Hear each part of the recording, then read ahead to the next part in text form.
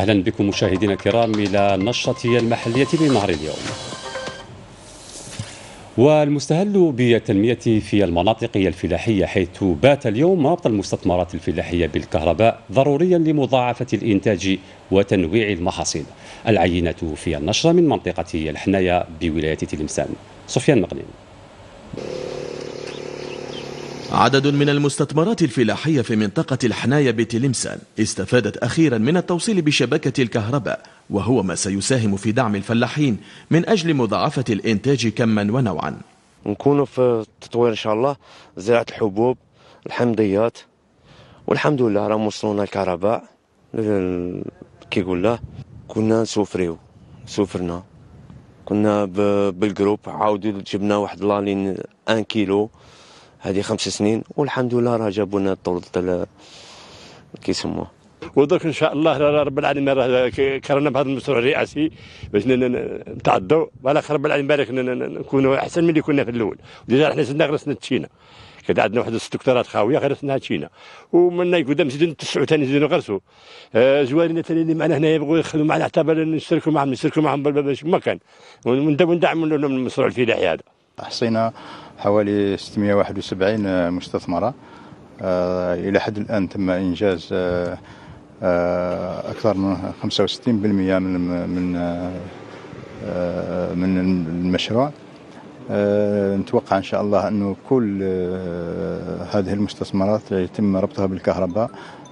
قبل نهاية السنة. استكمال برنامج ربط المستثمرات الفلاحية بالكهرباء الريفية سيحفز هؤلاء لتوسيع المساحة المزروعة ودعم السوق المحلي بمختلف المنتوجات.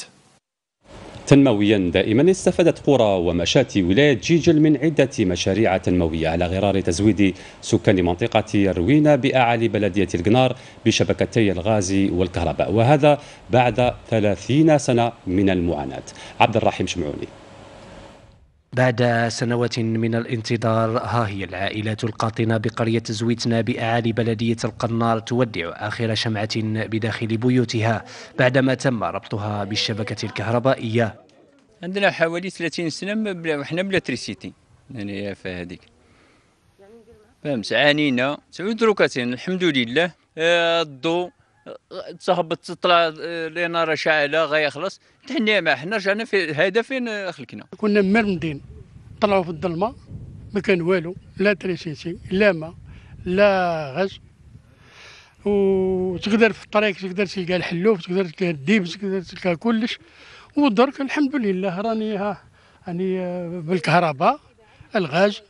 électricité نعمه كبيره عاودنا دروك نشربوا الماء بارد عاودنا نتفرجوا في التلفزيون عاودنا l'éclairage هاو كاين المهم تنحات لنا غمه كبيره ضمان تغطية كهربائية شاملة لكل المناطق النائية هو ما تسعى إليه المصالح المختصة بولاية جيجل قمنا بوضع خيز الخدمة منطقة زويتنا بولاية القنار التي تضم حوالي 20 مسكن تدخل ضمن إنجاز العمليات المنجزة في هذا الإطار التي بلغت 58 عملية منجزة بطول شبكة كهربائية طولها 226 كيلومتر طولي وتخص 3396 مسكن ريفي كلها عمليات تدخل ضمن برنامج توصيل الطاقة الكهربائية لمختلف القرى والمشاتي البعيدة بهدف تحسين المستوى المعيشي للمواطن وتسهيل حياته اليومية.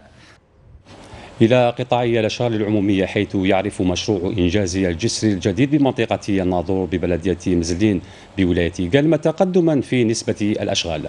مكسب من شأنه فك والعزلة عن البلدية المجاورة. نتابع هذا الروبورتاج لعائشة بوبريق. منطقة الناظور ببلدية بني مزلين بولاية قالمة تستفيد من مشروع بناء جسر يعد من بين أهم المشاريع التي ستسمح بفك العزلة عن المنطقة. المشروع هذا يتمثل في بناء جسر على طول 100 متر. مدة الإنجاز تاعو 12 آه، شهر. بداية الانطلاق تاعو من آه، بداية شهر أفريل 2022 سكان المنطقة عبروا من جهتهم عن ارتياحهم لهذا المشروع.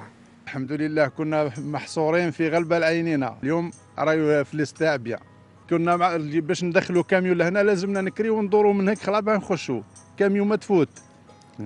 دركا الحمد لله كي يقيم ويوجد رانا لاباس. صافي لونطون هي هكا الناس يعني تجي باش تبقى تستنى من هي. راح يفك يعني آه، راح يفك العزلة راح يفك آه، آه، أزمة تاع سير يعني هكذا راح يفك آه، آه، حوايج بزاف يعني. بصفة عامة منفعة كبيرة. جسر جديد من شأنه إعطاء حركية وديناميكية كبيرة لبلدية بني مزلين التي يقطنها أكثر من ثلاثة آلاف نسمة.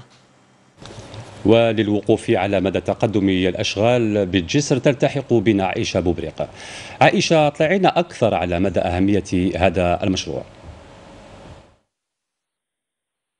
شكرا لزملائنا بالاستوديو المركزي على هذا البث المباشر من هنا مباشرة من ولاية جالما وبالتحديد ببلدية بني مزلين بالمنطقة المسماة الناظور.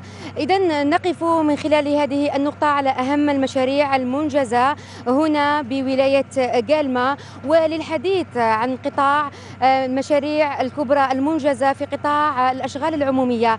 أسعد في هذا المباشر. باستضافة مدير الأشغال العمومية السيد نواصر سالم. مرحبا بكم سيدي. مرحبا بكم في قلمة ربما هل لكم أن تضعنا في صورة أهم المشاريع المتعلقة بقطاعكم هنا بولاية قلمة استفادت الولاية في البرنامج الخ- الخماسي الأخير من سنة 2017 إلى سنة 2022 من غلاف مالي يفوق 28 مليار دينار جزائري وذلك للنهوض بالبنية التحتية وخاصة شبكة الطرقية منها ازدواجية الطرق الوطنية تحديث الطرق الولائية تحديث الطرق الولائية إصلاح الطرق البلدية وفتح المسالك في مناطق الظل.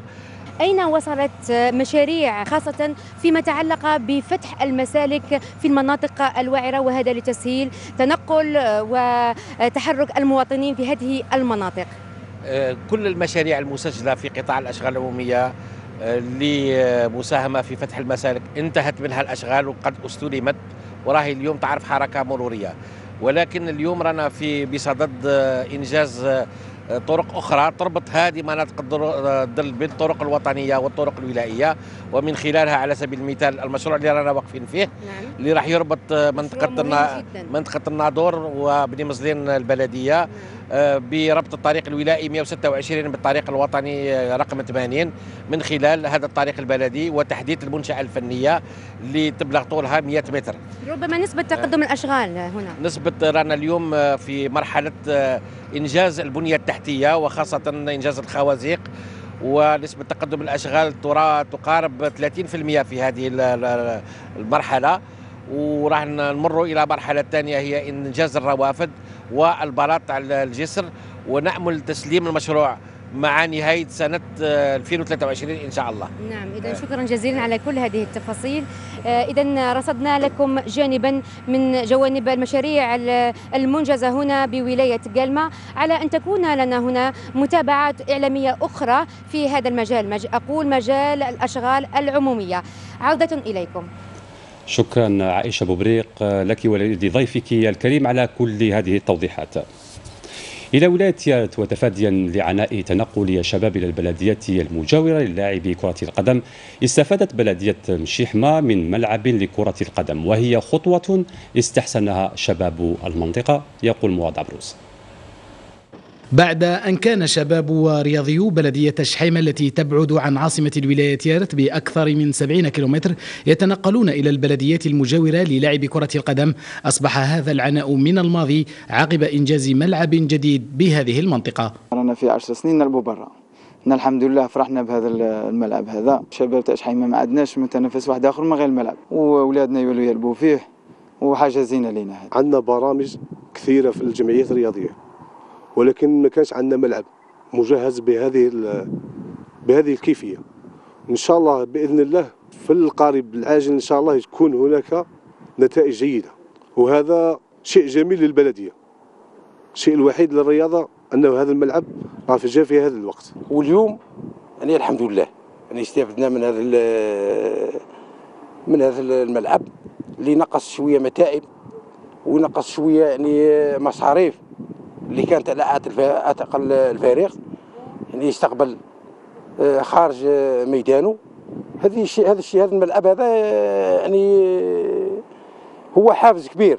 وإلى جانب هذا الملعب تتوفر بلدية شحيمة على دار للشباب تضم عدة فضاءات لاستقطاب مختلف الشرائح صقلا للمواهب والقدرات. ولمزيد من التفاصيل معنا على المباشر الزميل مراد عبروس. مراد مشاريع لفائدة شباب المنطقة من شأنها ترقية الأداء الرياضي واكتشاف المواهب. تفضل. شكرا تحية لكم وتحية لجميع مشاهدي التلفزيون الجزائري من بلدية شحيمة التي نتواجد بها الآن والتي تبعد بأكثر من 70 كيلومتر عن مقر عاصمة الولاية. تيارة نحييكم ونسلط الضوء على أبرز المشاريع التنموية في قطاع الشباب والرياضة على مستوى هذه البلدية ومختلف البلديات الأخرى عبر إقليم ولاية تيارة. ولهذا الغرض أسعد وأتشرف أن يكون معي حاضرا السيد مدير الشباب والرياضة لولاية تيارة السيد عمر سلاني الذي من خلاله نسلط الضوء على أبرز هذه المشاريع والغاية المرجوة من تجسيدها على أرض الواقع. تفضل سيدي. شكرا شرف لنا أننا نكون ضيوف التلفزيون العمومي الجزائري. وكما سبق وذكرت أنه هناك عدة مشاريع يعني تأتي بالفائدة على الشباب الرياضي لولاية تيرت آه، على سبيل المثال الحصر يعني مثلا هناك يعني آه، أربع مضامير لألعاب القوة بكل من قصر الشلالة ومهدية وفرندا وسوقر. كذلك إعادة الاعتبار لعدة ملاعب أكثر من عشر ملاعب آه، بلدية بالعشب الاصطناعي. وهذا يعني راح ثاني يعود بالفائده وثاني يفك العزلة على بعض البلديات اللي كانت تستقبل خارج البلدية تاعها وعندنا كذلك بمعدل ثلاث ملاعب جوارية آه، في البلدية لأن كاين بعض البلديات اللي فيهم أكثر من آه، من ثلاث ملاعب أو أربع ملاعب جوارية. وكاين بعض الملاعب اللي يعني بعض البلديات اللي يستفادوا يعني من ملعب ملعبين. فلهذا يعني هذه كلها يعني تعود بالفائدة على الساكنة وعلى يعني الممارسين وعلى المناف... يعني المنافسة الرياضية في كرة القدم. وكذلك في الرياضات الأخرى مثلا كما نسعى إلى إتمام الملعب نصف عفوا المسبح نصف أولمبي ب الرحوية وكذلك بعض المشاريع الأخرى اللي يعني تعاود إعادة الاعتبار لقاعات المتعة الرياضات ودور الشباب والقاعات المتخصصة وهذا لتمكين الشباب من الممارسه في ظروف جيدة وتجهيزهم بكل وسائل البيداغوجيه نعم شكرا لكم السيد مدير الشباب والرياضة. إذا أكيد هي مشاريع ستكون متنفس وكذلك ستكون آه، مهد لإظهار قدرات ومواهب الشباب. نعم وهو كذلك لأن ولايتنا تزخر بعدة مواهب ويعني عندنا مواهب يعني اللي رفعوا الراية الوطنية عاليا في المحافل الدولية مؤخرا فقط يعني على سبيل المثال الحصر السجاتي والملاكمة البطلة. إيمان خليف وإلى غير ذلك يعني يسمحوا لي الرياضيين الاخرين تاع الكرة الحديدية وذلك لأنه ولايتنا تصغر وكذلك يعني ثاني هناك آه، ربع ملاعب للكرة الحديدية. يعني بصدد انجازهم بصدد إتمامهم بإذن الله في آه، ولايه إن شاء الله. إن شاء الله. شكرا لكم السيد مدير الشباب والرياضة لولاية تيارة السيد عمر سلاني على كل هذه التفاصيل والمعطيات المتعلقة بجهود ومساعي القطاع لتوفير فضاءات أحسن وفضاءات أرقى وكذلك لاكتشاف مواهب لمشاريع أبطال إن شاء الله مستقبلا في تيارة وفي الجزائر. تحمل كما ذكرتم سيدي الكريم الراية الوطنية في مختلف المنافسات الدولية في شتى الاختصاصات. اذا عودة إليكم زملائي في الاستوديو. مواد عبروس شكرا لك ولضيفك الكريم على كل هذه التوضيحات. وبالرياضة نصل إلى ختام النشاط المحلية لنهار اليوم. ألقاكم بخير.